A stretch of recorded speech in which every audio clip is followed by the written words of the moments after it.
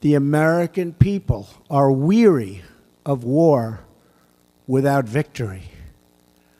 Nowhere is this more evident than with the war in Afghanistan, the longest war in American history. America has been at war for 16 years now, but is the world any safer?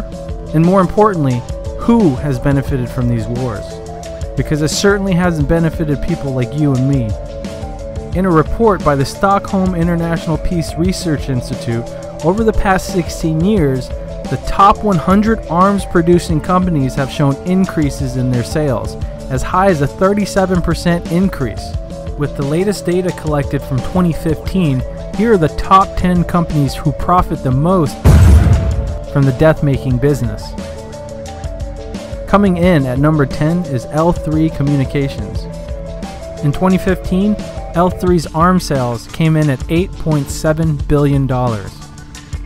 L3 divides its business into three segments electronic systems, aerospace systems, and communication systems.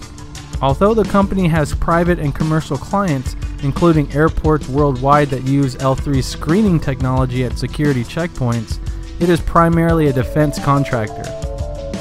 Number 9 is Finmeccanica. This Italian aerospace company made over $9.3 billion in 2015, and it recently changed its name to Leonardo.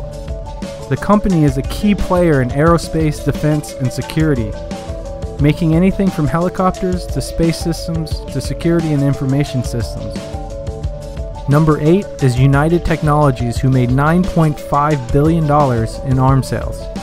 Their aerospace division develops and manufactures a range of military technology, from submarine stealth composites to fighter jet ejection seats including engines used in the F 22 Raptor and the F 16 fighter jets.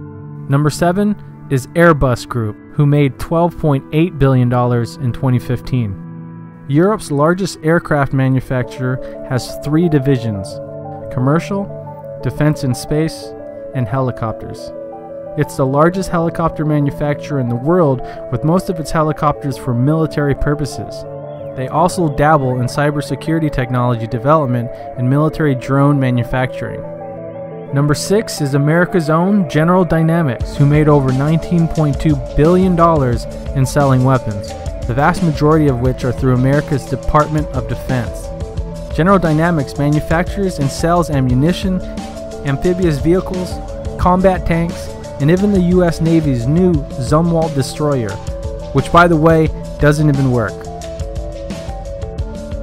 Coming in at number 5 is Northrop Grumman. Total sales came in at $20 billion for 2015. Northrop was awarded an $80 billion contract to supply the U.S. military with 100 long range strike bombers. This is the biggest deal from the Pentagon in more than a decade.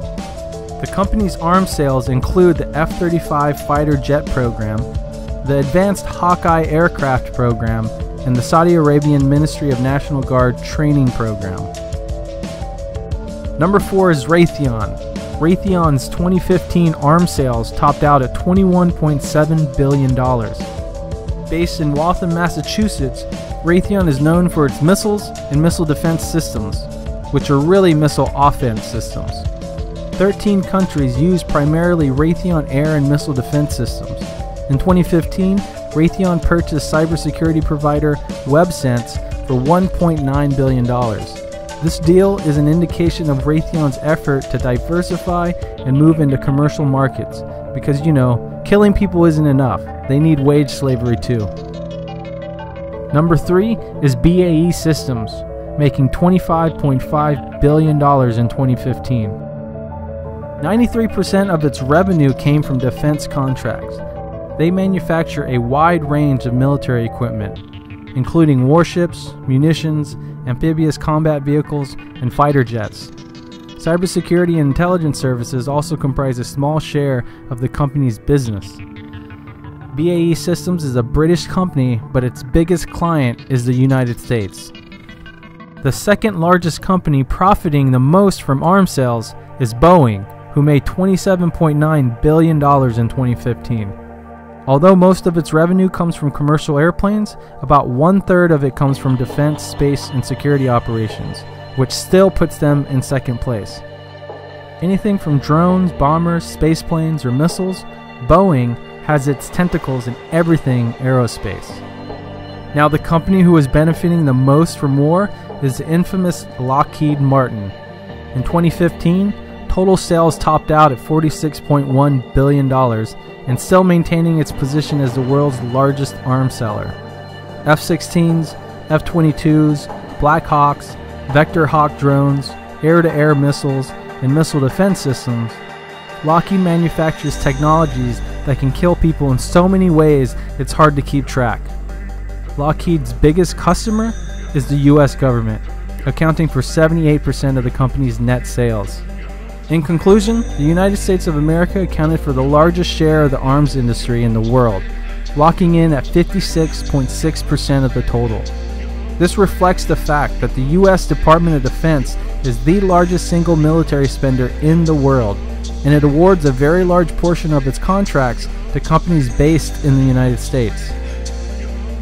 These weapons manufacturing companies depend on conflict, depend on war, in order for them to make a profit.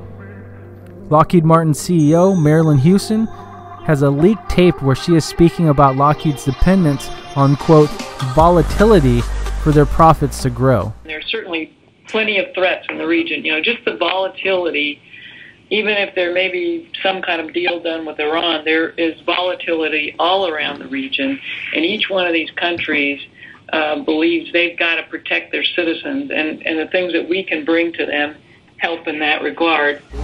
So, is the business of war worth the profit when you consider the human costs? You tell me.